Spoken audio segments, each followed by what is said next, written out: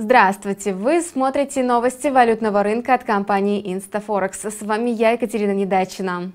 Большинство аналитиков, ожидая сегодняшний отчет по темпам роста потребительских цен в Великобритании, были уверены в негативной динамике.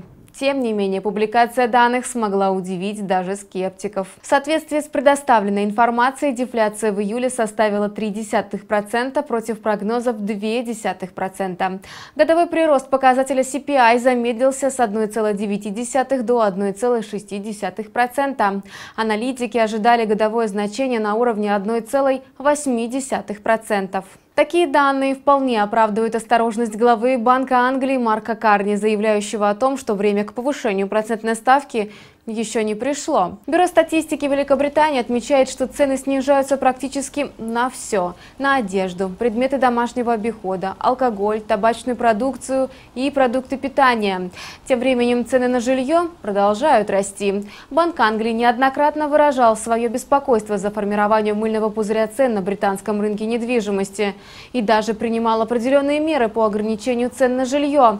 Но, видимо, пока правительственные меры не оказывают должного влияния. Фундаментальный фонд спровоцировал резкое падение курса фунта на валютном рынке. В паре с американским долларом фунт стерлингов сразу потерял порядка 70 пунктов. Сегодня пара может оказаться под еще большим давлением, если данные по потребительской инфляции в Соединенных Штатах выйдут не хуже прогноза.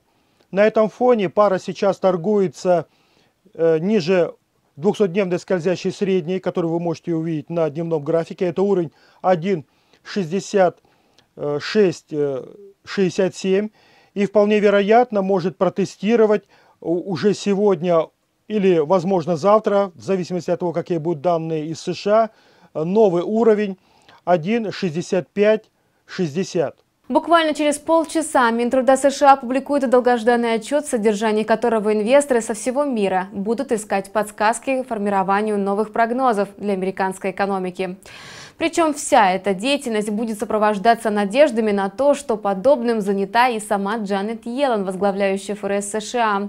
В пятницу состоится ее выступление на экономическом симпозиуме в Джексон-Холл, и участники рынка ждут, что Йеллен наконец-то отклонится от традиционной темы о слабости американского рынка труда и укажет на другие причины, приостанавливающие старт к ужесточению монетарной политики. Будьте в курсе новостей вместе с компанией Instaforex и приятного вам торгового дня!